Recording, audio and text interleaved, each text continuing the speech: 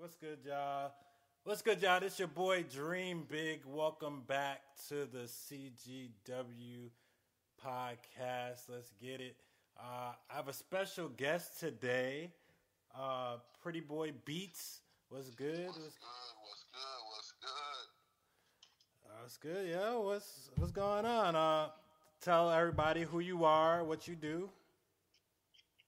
Man, thank you very much. Um, my name is Pretty Boy Beats, and I'm a music producer. Um, but more than anything, I like to just think of myself as a guy that really likes music. You know what I'm saying? And a guy that, you know, is just following his dreams like all the other greats and working hard to get to that place in time. You know what I'm saying? Yeah, I feel you on that. I feel you on that. Yeah, man. Uh, so why do you why do you why do you do what you currently do? Um, well, I think it's just self-expression, man.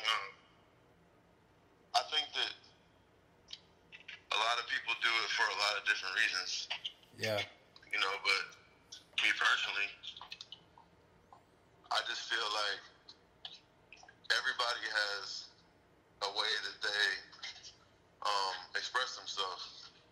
Some people even express themselves through just business. But um, I've just always liked doing music and using it as an outlet to kind of just express myself, however I'm feeling, what I like, um, what I'm thinking. It's kind of basically like a snapshot of what's going on inside of my, my brain and my soul. That's you know that's so important that you know you you make music that um, invites the the listeners basically into your life and kind of makes us feel like we're a part of it. How did you go about like taking that personal aspect out of your music? And you know, I, I know like me, I I would probably be uncomfortable a little bit because you know I, I like to be a little private, so you know I be in my I, I kind of like being in my shell. But how did it feel like giving you know a piece of yourself in your music, inviting people in, and how did how do you feel like your fans responded to that? Well, um, that's a great question. Um, I would really say that my route was a little bit different. Um, I wasn't like a um, like a like a music prodigy or anything like that. Mm-hmm. Um, I pretty much was like what I considered average. Um, I grew up in Houston, Texas, so I, I wasn't I wasn't you know an extremely rich kid, but I wasn't you know living in poverty or um, you know anything like that. You know, so I grew up pretty much like the regular American life. You know, I had both of my parents, Yeah. and um, I you know I rode bikes and you know played played sports and you know just hung out in the neighborhood like all the other kids did. You know, I grew up in kind of like a um, it was multiracial, but this was like uh, this was kind of like when a lot of the Hispanics started um, really really coming into Houston. They've always been there, but um, I had like a mixed ethnicity um, neighborhood. Okay. So it was kind of like it was a little bit of everything, and I, it was always like that flavor. So just growing up, I listened to a lot different music. You know, Houston definitely. Um, growing up in Houston, you know, you listen to obviously, you know, the screw the screw music and the um, you know, your C's and your UGKs and your Bun B's and you know all these all these people. Um, but on top of that, you know, they had that heavy Latin influence, so I've always kind of just liked it, you know, because it reminds me of my childhood a little bit. Just walking to the little little store and shit. Middle school and high school, I got really big into car audio. Ah. You know, like like like uh, throwing systems in cars. You know, doing light installations and um, going to sound competitions and doing shit like that. So from there, I started seeing like there's just a huge market for music. Like people are, it's a lot of different ways that you don't think that people are just outside just listening to music on the radio and shit. Like it's a lot of different functions and you know events that people are really like celebrating music. So tell me, so tell me when you first started off, like wh- who were your biggest influences? Like was it was it like what was one of your friends rapping too? Um, Um, well, thank you. I had a um. You talking about like professional people or? Yeah, it could have been uh you know it could have been Jay Z, like maybe a Jay Z album, or your dad, or your mom. I mom. think, man, at that time, you gotta Yeah. understand, like, it was still like Michael Jackson was still doing music. Yeah. You know, so I'm like a, I'm like a, uh, I'm like an old soul. So like, I liked all the popular rap, but I'll say the first rapper that I really just liked would have to be DMX. Ah, okay. like the first rapper that I just really, really was like, man, this guy's fucking on fire. But the, hon- honestly, I take that back. I take that back. I take that back. The first CD, the first tape slash CD that I ever bought was Three Six Mafia. It was um, it was um, I think it was Chapter Two World Domination. That's the first CD that I ever bought. Yeah. And I bought that CD like three or four times. Really? You know what I'm saying? Like, Dang. yeah, like, 3 6 Mafia is probably one of my biggest musical influences. And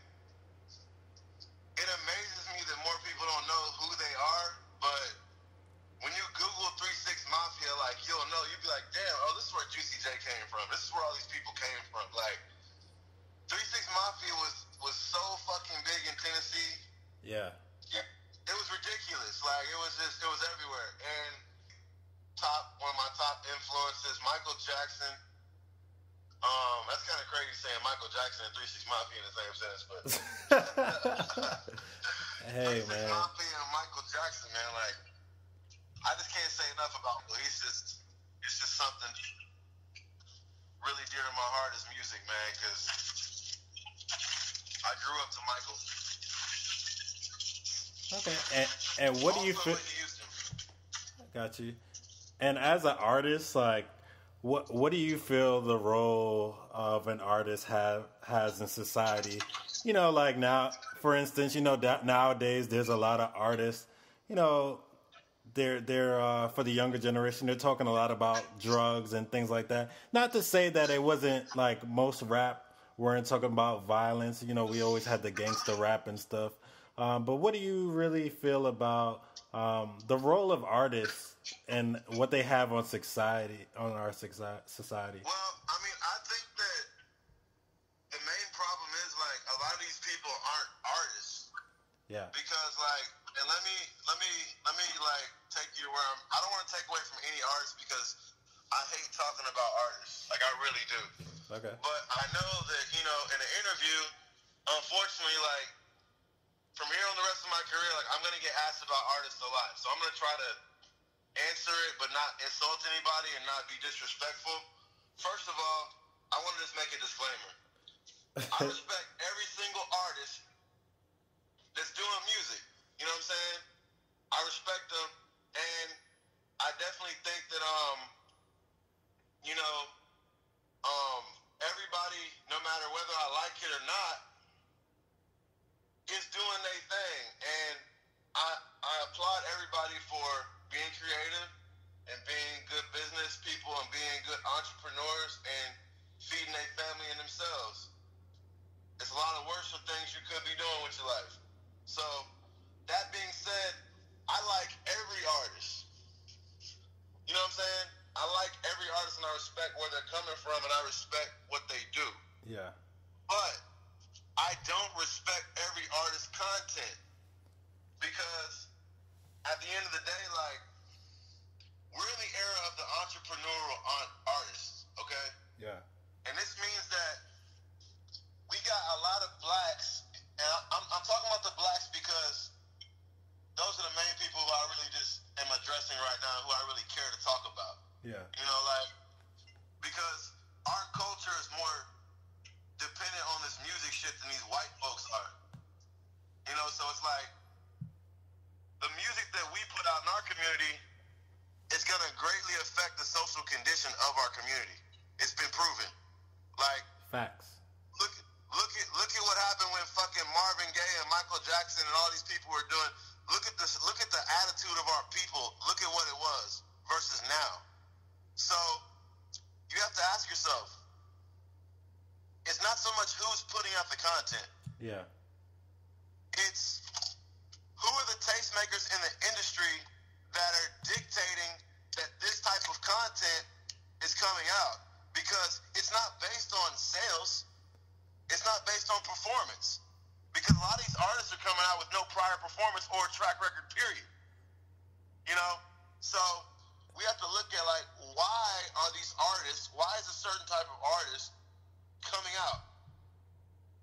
Why? Who's who's signing him? Who's putting up the money? They don't have no fucking money. That's true. They didn't have no money coming in the fucking game. Very few artists have money coming into the game. So who's signing these motherfuckers? Who's distributing their record? How is their shit on? How does their shit get a million plays in one day? How does it get two hundred thousand plays in one hour? How does this nigga post a picture on Instagram and it gets one million likes every time, but this artist can't sell one million records? right. That what's really going on? That that's the million dollar question really right there. On? That's the, that's you the. wanna know what's going on? It, a lot of fucking deception is what's going on. For sure. I mean, I just want to hear about if you if you got any new music coming, um, any re- and if you're producing on anybody's, anybody any other artist's music.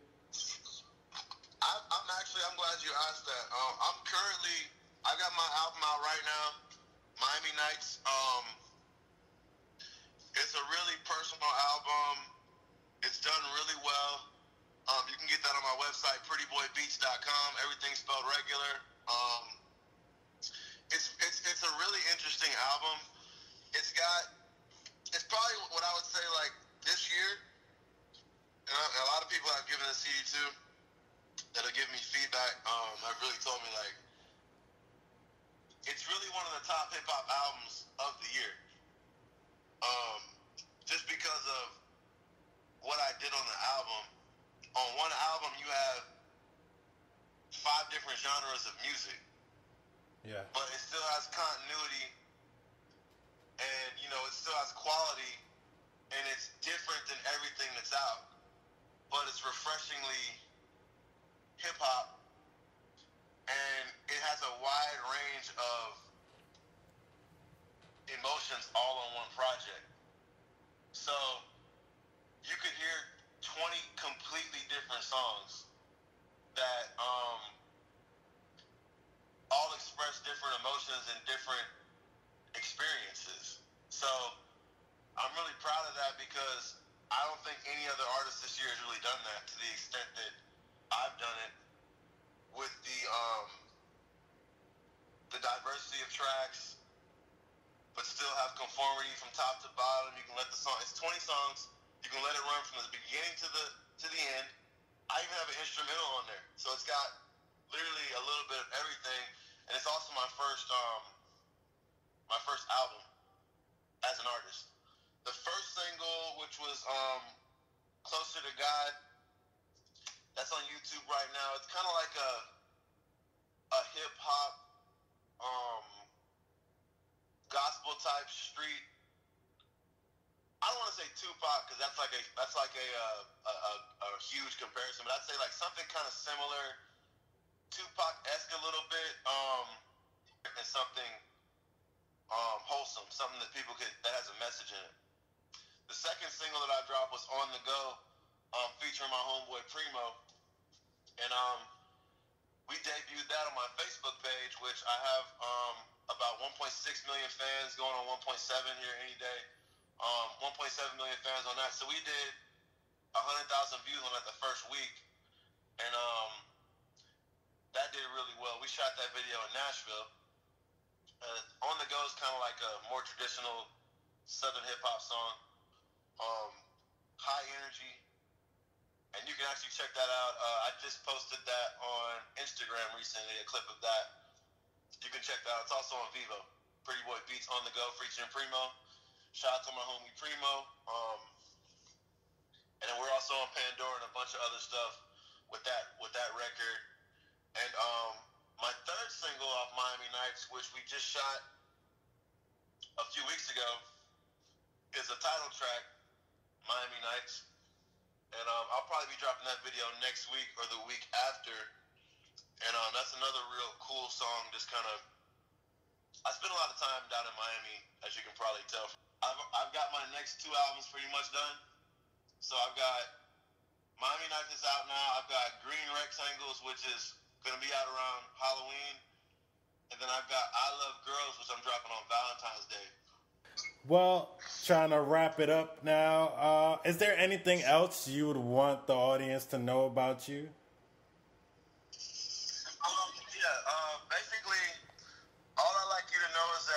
thanks for tuning in with Pretty Boy Beats, man. Uh, I'd like to thank you for having me. No problem, man. I've got Anytime. a lot of a lot of great stuff going on, and I'm very easy to follow. You can check me out on Instagram, Facebook, Twitter. Um, I've got my own website, prettyboybeats.com, but on all the social media sites, from YouTube to Facebook to Twitter to Vevo to everything, it'll be at Pretty Boy Beats, which is